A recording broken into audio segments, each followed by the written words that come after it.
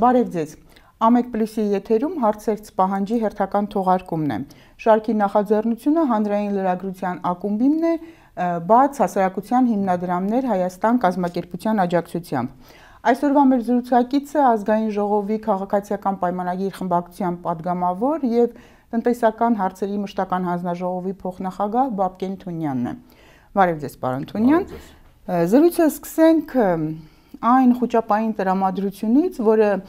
պատերազմից հետո Հայաստանում հատկապես խանութներում մարդկանց շրջանում առաջացավ, դա արտահայտվում էր հատկապես խանութներում եւ հիմա տպավորություն է, որ այդ խոճապային տրամադրությունը աստիճանաբար մարում է, այսինքն այդպիսի մեծածավալ գնումներ քաղաքացիները չեն կատարում այլևս կամ գոնե այդ խոճապ օթի մեջ նույնիսկ արդեն տպավորություն է, որ մարում է։ Ձեր դիտարկմամբ ինչի արդյունքում դա ստացվեց։ Ինչու ինչի ինչը հատկապես դեր ունեցավ, որ գործոնը հատկապես դեր ունեցավ։ Նախ շնորհակալություն այս հնարավորության համար եւ հարցազրույցի հարցերի համար։ Ասեմ, որ դուք ճիշտ եք, բայց դա տպավորություն չի, իրոք խոճապը մարում է եւ այն աժոտաժը, որ մեկ շաբաթ առաջ կար, մեկ շաբաթ 10 օր առաջ, երբ մարդիկ խանութներից մեծ քանակությամբ առաջին առողջության ապրանքներու սննդամթերք էին գնում, հիմա անզեն աչքով երևում է, որ դա չկա։ Կարող է լինեն որոշակի դեպքեր, բայց դա այլևս համատարած բնույթ չի կրում։ Ուզում ասել, որ մի կողմից մենք ինչքան էլ հայտարարում ենք, որ խոճապի համար հիմքեր չկան, այսինքն Հայաստանում պարենային ապրանքների դեֆիցիտ չի սպառնում, ոչ հացահատիկի, ոչ շաքարավազի, ոչ մնացած ապրանքների գծով ամեն դեպքում մարդկանց մեջ այդ զգուշավորությունը կա ու դա միայն Հայաստանին բնորոշ երևույթ չի, դա ամբողջ աշխարհում կարելի է նկատել հատկապես ճգնաժամային իրավիճակներում։ Նույն իրավիճակը կար կորոնավիրուսի ժամանակ եւ ոչ միայն ել եմ կրկնում Հայաստանում, այլ անգամ ԱՄՆ-ում, Ռուսաստանում, մնացած երկրներում, երբ մարդիկ սպասում են, որ կարող է որոշակի ապրանքներ չլինեն այլևս խանութներում կամ լինելուց այնպիսի բարձր գներով վաճառում, որ իրենք ի վիճակի չլինեն գնել, իրենք գնում են համատարած գնումներ։ Այսինքն այս դեպքում սպասումները բավականին մեծ դեր են խաղում եւ Հայաստանը այդ առումով նույնպես բացառություն չի ու մյուս կողմից դա ունենում է արդեն շղթայական էֆեկտ։ Եթե մարդիկ հավատում են, սպասում են կամ մտածում են, որ այդպիսի բան տեղի կունենա ու բոլորը խանութներից հավաքում են այդ դարակներում եղած ապրանքը, առաջանում է արհեստական դեֆիցիտ։ Այնուամենայնիվ, պարոն Թունյան, ինչ ազդեց հորդորները իշխանության, չգիտեմ, ուղակի հասկացանք, որ միևնույնն է հնարավոր չի ինչքան էլ որ տանենք, միևնույնն է ինչ որ պահի այդ տարվածը սպառվելու է, որտեվ ի վերջո խնդիրը մնում է, ճիշտ է, խոճապը կարծեք թե մարել է, բայց խնդիրը այնուամենայնիվ միանգամայն հիմնավոր անհանգստությունը կա, որովհետև մենք բավականին շատ ապրանքներ Ռուսաստանից ներկրում ենք, իսկ Ռուսաստանում իրավիճակը տեսնում ենք։ Ինչ ազդեց։ Չեմ կարող ասել, թե մեր հորդորները կամ մեր հայտարարությունները որքանով ազդեցին, երևի ավելի շատ ազդեց հենց բուն իրավիճակը, երբ մարդիկ տեսան, որ խանութներում, երբ իրանք այդ ամեն ինչը գնեցին, տեղը դատարկ չմնաց, այսինքն լրացվեց։ Զուտ նախորդ միտքը շարունակելով, այդ խոճապային գնումների հետևանքով տեխնիկական խնդիր էր առաջանում, որովհետև մատակարարները չէին հասցնում կարճ ժամանակահատվածում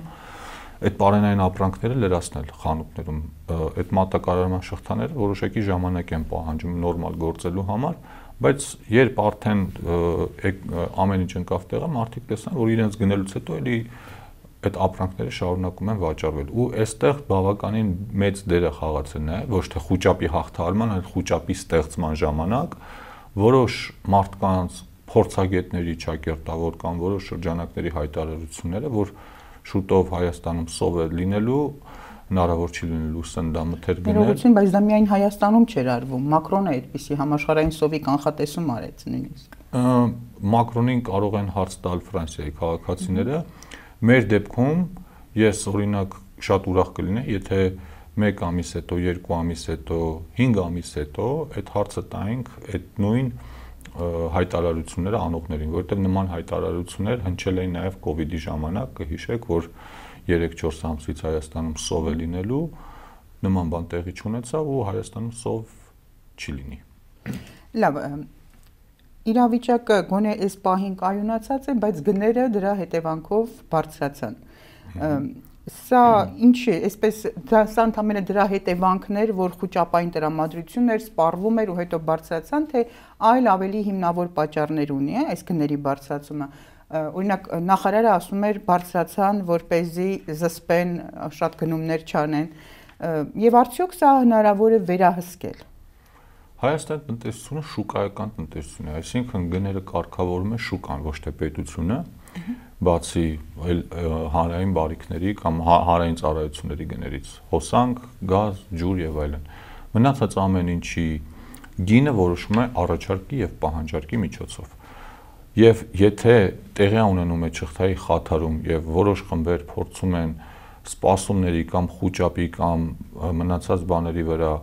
դիվիդենդներ քաղել եւ ունենալ գերշահույթներ, այսինքն տեսնում են, որ ինչ որ մի ապրանքի նկատմամբ պահանջարկը կտրուկ մեծացել է, կտրուկ ավելացնեն գները կամ արհեստական դեֆիցիտ ստեղծեն ու դրանով իրեն գներ սադրեն ու ելի փորձեն հավելյալ եկամուտ ունենալ, այս բոլոր դեպքերի համար, երբ նման խաղացողները շուկայում կշիռ ունեն, կա մեզ մոտ մրցակցության պաշտպանության հանձնաժողով, որը մշտապես դիտարկում է շուկան եւ ինչպես կանխարգելիչ, այնպես էլ պատժիչ գործողություններ է իրականացնում։ Հիմա գնաճը անմիջապես դրա հետ կապելը իմ կարծիքով ճիշտ չի, որովհետև դա կարող է կարճաժամկետ ու որոշ առանձին դեպքերում ազդեցություն ունենա ու նույնքան արագել մարի, բայց հիմնական ապրանքատեսակների գների թանկացումները ունեն մի, մի քանի պատճառներ սկսած փոխարժեքի որոշակի տատանումից վերջացրած մինչև միջազգային շուկաներում որոշակի ապրանք ապրանքատեսակների գների թանկացումը այսինքն ձեթի կամ կարակի հիմա կարողա այս տարածաշրջանային Ուկրաինայի հետ կապված իրավիճակի հետևանքով ունենանք որոշակի ապրանքների լրացուցիչ գնաճային ճնշումներ, որովհետև կան ապրանքների խմբեր, քանակությամբ որոշ, որոնք ներկրվում էին Ուկրաինայից, Ռուսաստանից եւ այլն։ Այսինքն այդ լոգիստիկ հնարավորությունները, մատակարարման ուղիները բարթանում են եւ կարող է առաջանալ որոշակի փոխարինելու կարիք, այսինքն մենք պիտի ներմուծման ուղղությունները դիվերսիֆիկացնենք, իսկ այդ ամեն ինչը կարող է լրացուցիչ գնաճային ճնշումների բերել, բայց դրա համար կան պետության մեջ կառույցներ, որոնք այդ ամեն ինչը փորձում են նախապես հաշվարկել ու ռիսկերը մեղմել։ Ինչ վերաբերում է նախարարի ասածին, որևէ խանութ ինքը գինը չի բարձրացնում, որ պահանջարկը ճնշի, այսինքն տնտեսվարողը ինքը մակրոտնտեսության մասին ես կարծում ինքն ի նկատի ունի որ գործել է դասական շուկայական մեխանիզմից դասական շուկայական մեխանիզմը հետեւյալն է որ եթե որևէ ապրանքի պահանջարկը գերազանցում առաջարկին տեղի ունենում գների բարձրացում եւ այդ գների բարձրացման հետևանքով այդ առաջարկն ու պահանջարկը իրար հավասարակշռում են այսինքն դեֆիցիտային երևույթները շուկայից վերանում են։ Այսինքն այն ինչ ինքը ասել է, ինքը դասական շուկայական տնտեսագիտության այբուբենից է։ Դուք թվարկեցիք այլ պատճառներ միջազգային համաշխարհային շուկայում գների աճ, նշանակում է, որ թեպետ ձեր նշած հանձնաժողովի նախագահը ասաց, որ ուսումնասիրում են այդ գների բարձրացումը, այնուամենայնիվ, եթե կան ձեր նշած պայմանները, նշանակում է, որ ակնկալել գների նվազում այս պահին իրատեսական չէ այն ապրանքների դեպքում, որոնց գների բարձրացումը տեղի ունեցել խոճապային տրամադրությունների հետևանքով կամ չհիմնավորված կամ փոխարժեքի հետևանքով, այդ ապրանքների գները որպես կանոն չեն իջնում երբեք ներքև։ Եթե միջազգային շուկաներում այլ բան տեղի չի ունենում կամ եթե փոխարժեքի հետ կապված լուրջ տեղաշարժեր տեղի չեն ունենում, մնացած դեպքերում, երբ չհիմնավորված թանկացումներ են եղել, ապա մրցակցության պաշտպանության հանձնաժողովի միջամտությունից հետո դրանք կվերադառնան, բայց այս բանը մենք չենք կարող ասել արդյոք հիմնավորված են տվյալ ապրանքատեսակների գների թանկացումները, թե չէ։ Հիմա ինչքան գիտեմ, այս պահին այդ ուղղությամբ ուսումնասիրություն է ընթանում եւ երբ դրա արդյունքները པարզ կլինեն, արդեն հանրությունն էլ մենք էլ այդ հարցի պատասխանը կիմանանք։ Բայց սովորաբար տնտեսության մեջ, եթե շուկայական պայմաններով պայմանավորված են գները բարձրանում, դրանք այլևս երբեք որպես կան կարող մի թեթև տեղաշարժ լինի, բայց ընդհանուր միտումը գնում է դեպի բարձրացում։ Պետության խնդիրը ոչ թե այնպես անելն է, որ այդ գները իջնեն ներքև, իհարկե կա գների կայունությամբ զբաղվող կենտրոնական բանկ եւ այլ այլ կառույցներ, այլ պետության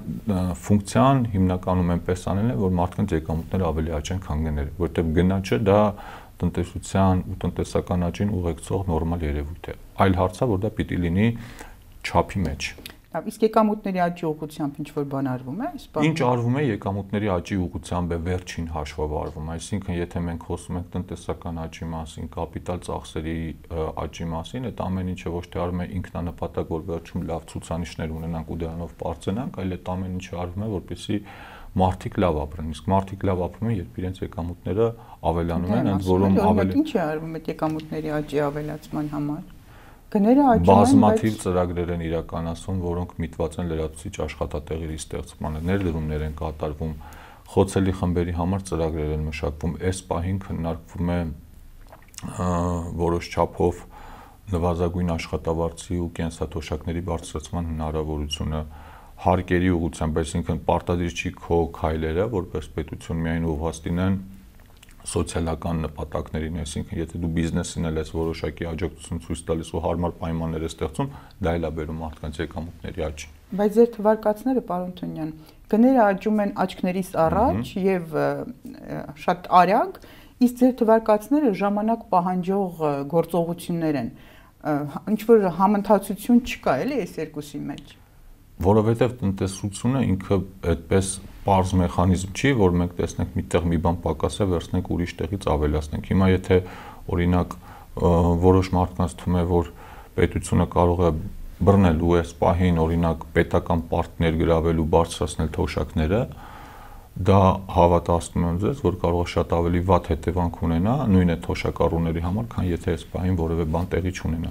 Այսինքն ցանկացած քայլ պետքա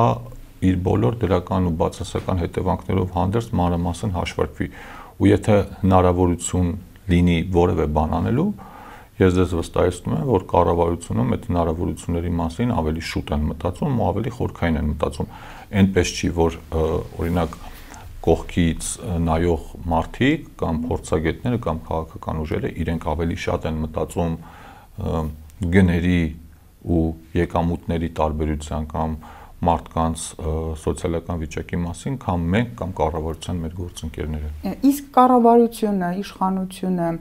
այս ընթացքում մտահոգություն ունեցավ, որ գների աճը կամ ապրանքների դեֆիցիտը կարող է բերել սոցիալական դժգոհությունների։ Դա կարող է ինչ-որ ընդվզումներ առաջացնել, ինչի մասին ընդդիմությունը շատ խոսում է։ Ընդդիմության գործը խոսալն է, նորմալ է, որ պիտի խոսեն իրենք, բայց ես հավատացած եմ, որ կառավարության ցանկացած քայլի դեպքում ընդդիմությունը միշտ կարող է խոսալու բան ունենալ միշտ այսինքն եթե Հայաստանի Հանրապետությունում գները բարձրանում են ինչպես ամբողջ աշխարհում դու կարելի է դա կապել Հայաստանի Հանրապետության կառավարության գործունեության հետ կամ եթե տեսնում են որ դա միջազգային միտում է կարող են ասել այսինչ քայլը չի կատարում որը պետք էր կատարվել կատարելու դեպքում կարող են ասել ինչու կատարվեց չպիտի կատարվել կամ այսպես պետք է չկատարվել այնպես պետք է կատարվել կառավարությունը բնականաբար տեսնում է ոչ միայն կառավարությունը, պետական բոլոր ինստիտուտները իրենց արժեվ դրված խնդիրներով զբաղվում են։ Կենտրոնական բանկը օրինակ բարձրացրեց վերաֆինանսավորման տոկոսադրույքը, ընդ որում բավականին զգալի չափով 1.25%-ային կետով, հենց նույն գնաճային երևույթները զսպում են։ Ինչ է դա ընդհանրում պարոն Թունյան Կենտրոնական բանկի գլխավոր ֆունկցիան, ինչպես հայտնի է, դա գների ու ֆինանսական կայունության ապահովումն է ու իր գլխավոր գործիքներից մեկը հենց այդ վերաֆինանսավորման տոկոսադրույքն է։ Եթե տնտեսագիտությունից այդքան շատ գլուխանող մարդիկ չկան մեզ դիտողների մեջ, փոքր բարձաբան է, որ վերաֆինանսավորման տոկոսադրույքը այն տոկոսն է, որով կենտրոնական բանկը վարկ է տրամադրում առևտրային բանկերին։ Այլ կերպ ասած, դա փողի գինն է Երբ տոկոսադրույքը բարձրանում է, նշանակում է կենտրոնական բանկը թանկացնում է փողը։ Այսինքն փողը դառնում է մի քիչ ավելի քիչ հասանելի, այսինքն կենտրոնական բանկը իր տոկոսը թանկացնելով անուղակիորեն նաև մոտիվացնում է, որպեսզի առևտրային բանկերը նույնպես վարկային միջոցների որոշակի թանկացում իրականացնեն, բնակչության մոտ փողը քչանում է, ըստ այդմ պահանջարկը քչանում է եւ ըստ այդմ գները զսպվում են։ Այսինքն սա Այսինքն դա որ ասում եք գները զսպվում են, դա նկատելի է պահանջարկի բնականաբար դա նկատելի է լինելու, դա նկատելի է լինելու ոչ անմիջապես, բայց ոչ էլ շատ երկար ժամանակ հետո ուղակի այդ գործիքի թերություններից մեկը այն է, որ դա զսպում է տնտեսական աճը, այսինքն այդ նույն վարկերը, որոնք որ բիզնեսը կարող էր վերցնել ու օգտագործել, բիզնեսի համար այդ վարկերը թանկանում են ու որոշ բիզնեսների համար կարող է ձեռնտու չլինել։ Բայց կենտրոնական բանկը գնում է այդ լուծմանը, որովհետև եթե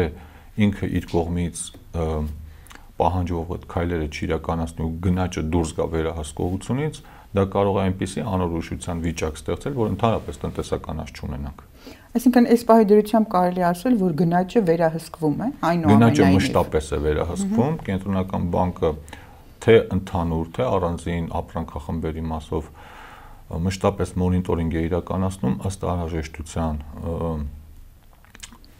քայլեր է կատարում, այսինքն կարող է տոկոս բարձրացնել, կարող է գնումներ կատարել շուկայից արտարժույթի, որ եթե դա արտարժույթի հետևանքով է մյուս կողմից առանձին ապրանքատեսակների գծով, ինչպես նշեցի, արդեն մրցակցության հանձնաժողովն է զբաղվում եւ ընդհանուր առմամբ պետությունը որպես մի ամբողջություն այդ ամբողջ process-ը մշտապես պահում է վերահսկողության տակ։ Կենտրոնական բանկը մեկ այլ կանխատեսում է կանխատեսում արեց ավելի հենց միակ այս կոնկրետ կանխատեսման մասին է խոսքը, որ պատերազմի հետևանքով տնտեսական աճը մեր երկրում կնվազի 5 ու 3-ից տարեվերջին կանխատեսած 5 ու 3-ից կդառնա 1.6%։ Ինչ է սա նշանակում։ Մենք ո՞նց ենք զգալու այս տնտեսական աճի նվազման հետևանքները։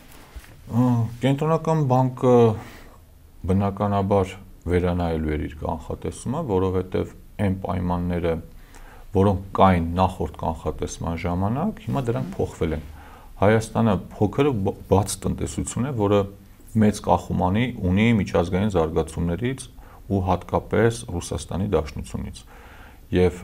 Ռուսաստանի Դաշնությունում տեղի ունեցող վայրի վերումները կամ տնտեսական աճերն ու անկումները շատ լուրջ ազդեցություն ունեն Հայաստանի տնտեսության վրա որովհետև Ռուսաստանը նախ Հայաստանի խոշորագույն առևտրային գործընկերն է, երկրորդ Ռուսաստանում աշխատող մեր հայրենակիցները բավականին մեծ քանակությամբ դրամական միջոցներ կամ տրանսֆերտներ են ուղարկում Հայաստան եւ Ռուսաստանը մեր ամենամեծ ներդրումային գործընկերն է։ Ու եթե Ռուսաստանի նկատմամբ կիրառվող պատժամիջոցների կամ այլ գործոնների պատճառով իրենց մոտ տեղի ունենում տնտեսության անկում կամ աճի դանդաղում դա անմիջապես կարելի ասել իրական ժամանակում մեզ վրա ազդում է տարբեր ձևերով մեկը դրամական փոխանցումների նվազման միջոցով այսինքն մարդիկ եթե պիտի ուղարկեին որոշակի չափով ռուբլի, ասենք 10 միլիոն ռուբլի, հիմա կուղարկեն ավելի քիչ ընդհանուր, որովհետև իրենց մի մասը կարող է գործազուրկ մնա կամ եկամուտները նվազեն։ Մյուս կողմից այդ ուղարկված ռուբլին արդեն ռուբլու կուրսի պատճառով որոշակիորեն արժեզրկվել է։ Կուրսի պատճառով մեր արտահանողները կորցնում են իրենց մրցունակության մի մասը, այսինքն իրենց մոտ շահութաբերության մակարդակը նվազում է։ Ռուսաստանում պահանջարկի նվազման պատճառով մեր արտադրանքի նկատմամբ պահանջարկը նվազում է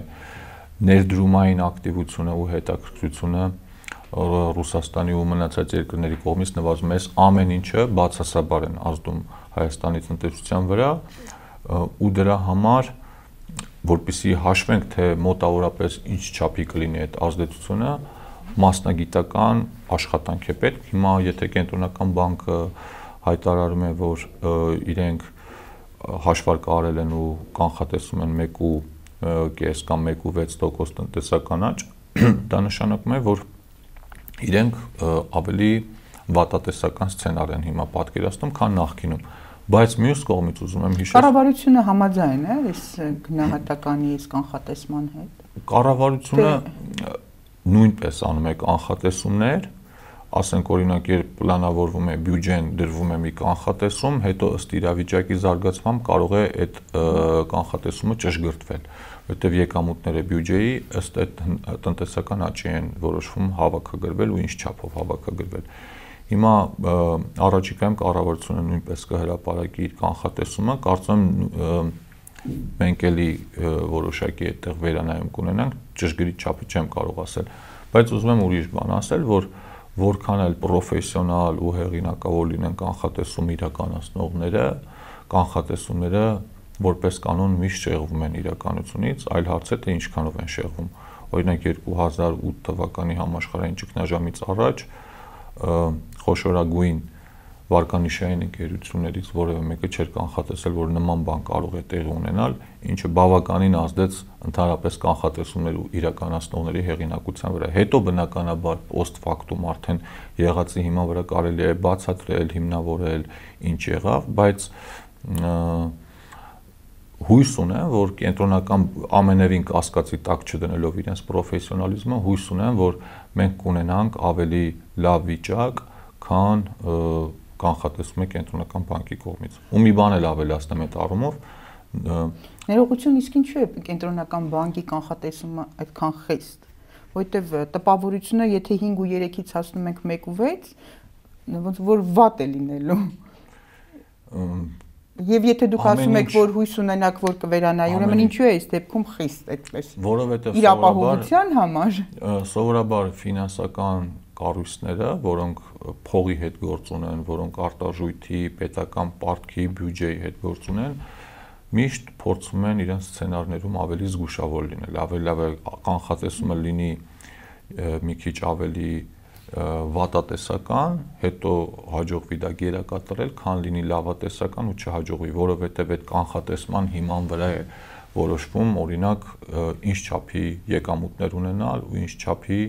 ծախսեր կատարել պետական բյուջեից։ Եթե դու պլանավոր ես օրինակ որ ունենալու ես երկնիշ տնտեսական աճ, ըստ այդմ պլանավոր ես քո մոտ բյուջեի եկամուտների աճ ու մեծ ծախսեր, որոնք հետո չկարողանաս կատարել, դա կլինի կատարյալ ցախողում։ Բայց ինչն է ուզում ավելացնել, որ ամենա վերջի շրջանում այդ շատ արդեն արդիական դարձած երևույթը որ կա սև կարապների, որը որ Նասիմ Թալեբն է շրջանառության մեջ դրել, տնտեսության մեջ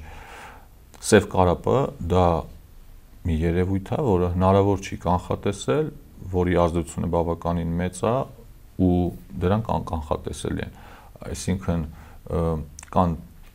այսպիսի երևույթներ, որոնք անկախ պրոֆեսիոնալներից, անկախ կատարված աշխատանքներից կարող են տեղի ունենալ ու այդ բոլոր աշխատանքը գցեն ջուրը, վերլուծական աշխատանքը նկատի ունեմ։ Այսինքն ամեն դեպքում կանխատեսումները պետքա նկատի ունենալ, բայց նաև պետքա նկատի ունենալ, որ եւ ռիսկերը կարող են ավելի շատ լինել եւ հնարավորությունները։ Պարոն Թունյան, ընդդիմությունը քննադատում է նաև, որ իշխանությունը այս իրավիճակի համար հակաճգնաժամային ծրագիր չունի, հակաճգնաժամային միջոցառումներ չի իրականացնում, չգիտի ինչ անել։ Ես շատ ուրախ կլինեի, եթե մեր ընդդիմադիր գործընկերները որոնք մտածում են, որ իրենք գիտեն ինչ անել, իրենք ընդդիմություն են, իրենցից պատասխանատվությունը չէ, ընդդիմության դրա համար էլ իրենցից քայլեր ակնկալել է այս դեպքում չէ, ուրիշ բան նկատի ունեմ։ Ընդդիմության գործը բնականաբար քննադատելն է, բայց իմ կարծիքով կառուցողական ընդդիմության գործը ու պրոֆեսիոնալ ընդդիմության գործը նաև այլընտրանք առաջարկելն է, որովհետև եթե դու ասում ես ինչ որ բանը սխալ է արվում կամ չգիտեն ինչ այն, դու պիտի նաև ճիշտ տարբերակը առաջարկես, միգուցե հասարակությունը քո տարբերակը ավելի շատ ընդունելի կհամարի։ Հիմա ես ինչքան նման ես գիտեմ որ կառավարությունը այս պահին ինչ անհրաժեշտ է անում է, ինչ վերլուծություններ պետք են կատարվում են ու ամենևին պարտադիր չի որ դա ամեն ինչը այս պահին հրաապարակայնացվի։ Բայց այնուամենայնիվ որ ասում եք ինչ անհրաժեշտ է անում է, չարժի ներկայացնել թե ինչ է անում եթե դա որևէ կերպ կնպաստի հասարակության տրամադրությունների բարձրացմանը կամ տնտեսական վիճակին, արժի ներկայացնել, բայց հիմա դժբախտաբար թե բարեբախտաբար ես ինքս չեմ տիրապետում այդ ամբողջ ինֆորմացիան, որովհետև դա ամենօրյա աշխատանք է, որը կատարվում է ամենատարբեր պետական ինստիտուտներում, բայց վերադառնալով ընդդիմության քննադատությանը շատ նորմալ է որ քննադատում են, բայց վերջին բանավեճերից մեկի ժամանակ էլ դա ի հայտ եկավ, երբ ասում ենք օրինակ ինչ կա որ կառավարությունը պետք է անի չի անում, իրենք ասում են օրինակ թոշակ բարձրացրեք, աշխատավ, դա հակաճգնաժամային միջոցառում չի ու հակաճգնաժամային միջոցառումների ժամանակ, երբ լինում են առաջարկներ, դա կարող է ստանդարտից տարբերող որոշակի ժամանակավոր միջոցառումներ, որը նույնպես կարող է քննադատության արժանանալ։ Եթե ել եմ կրկնում, կան նորմալ կառուցողական առաջարկներ, միշտ բաց ենք թե մենք ազգային ժողովում, թե կառավարությունում լսելու համար, բայց այս պայն ես հավատացնում եմ, եթե որը մեկին թվում է թե մենակ ինքն է նստած մտածում որ ճգնաժամ է ու պետք է ինչ որ բաներ անել մարդիկ էլ այնտեղ նստած մտածում են միայն բանի աղամաններ տեղադրելու խնդրի մասին դա ընդհանրապես այդպես չի բայց աղամանները ներկայացվում է որպես ռեֆորմ պարոն Թունյան այսօրվա իրավիճակում լուրջ է աղամանների հարցը որպես ռեֆորմ ներկայացնում ուրեմն կան թեմաներ որոնք պետքա կապ չունենան ընդհանուր իրավիճակի հետ այսինքն եթե կան կարևոր բաներ ու անկարևոր, ոչ այնքան կարևոր կամ բաներ, որոնք ընթացքում են ու պիտի գնան, դու չես կարող մեկ մյուսին հակադրել։ Այդ աղամանների թեման ես չեմ ասում, ես կողմ եմ դրան դեմ եմ դրան։ Այդ աղամանների թեման շուտ վանախաձեռնություն է, դա դեռ կառավարության կողմից չի հաստատվել, ընդհանրապես դրված է եղել հանրային քննարկման, ինչպես բազում նման գաղափարներ, ու հանրային քննարկումը եթե հաջողանցի, դա դեռ պետք է արժանանա կառավարության հավանությանը, հետո գա ազգային ժողով, բայց դա չի նշանակում, որ կառավարությունում զբաղված են միայն աղամանների տիպի թեմաներ կամ խնդիրներ լուծելով։ Դա գիտեք ինչի է նման։ Երբ օրինակ մենք ունենք սահմանային անվտանգության խնդիր ու այդ օրերին ազգային ժողովում քննարկվում էր հարկային օրենսգրքում փոփոխությունները, մեզ ասում են տեսեք ինչ վիճակ է, դուք ինչ օրակարգ եք քննարկում, բայց հիմա երբ հերթը հասնում է արդեն տնտեսական արձագանքներին, երբ խոսում ենք տնտեսական միջավայրի, մրցակցային միջավայրի մասին, ինչպես անենք, որ Հայաստանը ընկալվի որպես ավելի ցանկալի երկիր, ասում են, բա ինչու տնտեսական առումով որևէ բան չեք կատարում։ Ես ուզում եմ ասել, կներեք Մարիամ ջան, որ այդ ամբողջ քայլերը ի տարբերություն մեր ընդդիմադիր գործընկերների տնտեսական, սոցիալական, իրավական մշտապես են իրականացվում, որովհետև եթե մենք հիմա լսենք մեր որոշ գործընկերների ազգային ժողովի օրակարգում պետք է մենակ սահմանի վերաբերվող խնդիրներ լինեին։ Այնուամենին ես չեմ ուզում շատ կենտրոնանալ այս աղի հարցի վրա, բայց դուք ասում եք սա կառավարության կառավարությունը վաղուց էր մտածում սա անել այսօրվա վիճակը ամենահարմար պահն է այդ մասին բարձրաձայնելու, որով եւ սկսելու այդ մասին, այդ քայլեր անել այդ ուղղությամբ, որովհետեւ ասում եմ, որ սա նաեւ հանրության խոսակցությունների այլ օրակարգ թելադրելու նպատակ ունի ուշադրությունը շեղելու, չէ, այսինքն այսինքն լուրջ է, որ այդ նպատակը կա, բայց չխոսեն։ Չէ, ով է այդ մասին խոսում։ Ուշադրություն շեղելու խնդիր է։ Դա դրված է հանրային քննարկման e-draft.am հարթակում հետաքրքրողները կարող են մտնել տեսնել այդ այս բան ինչ ուրիշ նախագծեր կան, ընդհանրապես ինչեր են այդտեղ եղել դրված նախկինում, ինչ է պատրաստում դրվել, հետո արդեն իրենք են որոշում այդ թեման այնքան կարևոր է որ հասարակությունը դրա մասին խոսի թե չխոսի հիմա եթե մեր ընդդիմությունը խոսում է դրա մասին բայց ընդդիմությունը խոսում է մարդիկ էլ չէ դուք դիտարկումներ ունեք ըստ ձեր դիտարկումների այ որ ասում եք դրված է հանրային քննարկման ըստ ձեր դիտարկումների հանրության վերաբերմունքը այդ հատկապես հիմա այդ հարցի կարգավորմանը ինչպիսին է Մարիամ ջան Հիմա կստացվի, որ ավելի շատ ընդդիմության մասն եմ խոսում, ինչը ընդհանրապես չի ուզում ասել, բայց այդ խնդիրը միշտ եղել է ու ցավոք սրտի այդ խնդիրը շարունակվում է։ Հայաստանում օրակարգը պետքա թելադրի քաղաքական դաշտում, ոչ թե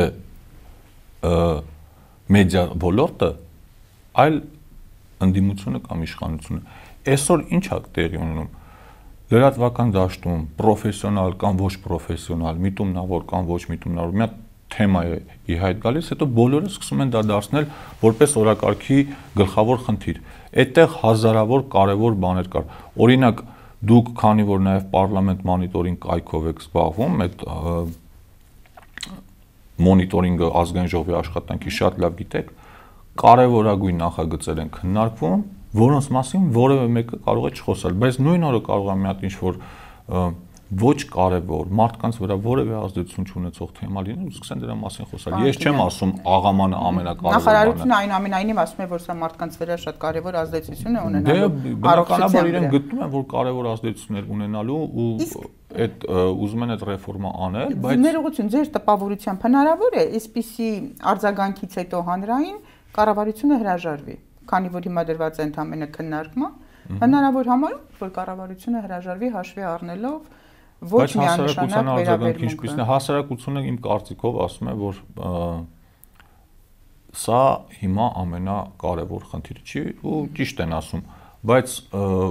եթե օրինակ ցանկա ոչ միայն աղամանի դեպքում, հա, եթե ցանկացած հարցի դեպքում կառավարությունը վստահ է, որ իր արածը ճիշտ է,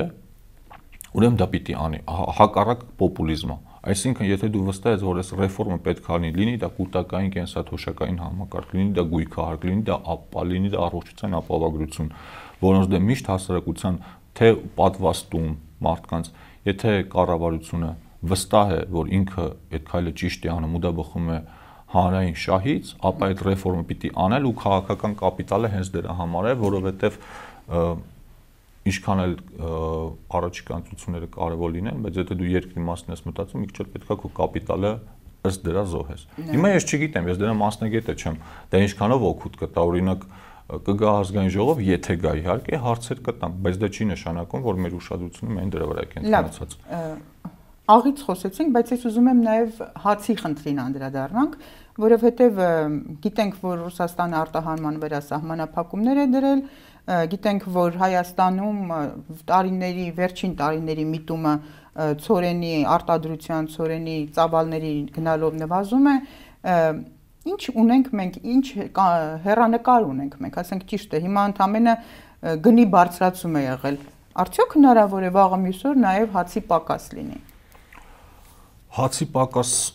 չի լինի, որովհետև Հայաստանը իրեն պահանջվող հացահատիկի pašարները գնում է Ռուսաստանից եւ